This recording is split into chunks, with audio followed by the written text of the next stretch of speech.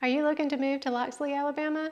Welcome to my newest listing in the cottages of Aventura in Loxley, Alabama. This home is a three bedroom, two bathroom home. Let me show you around.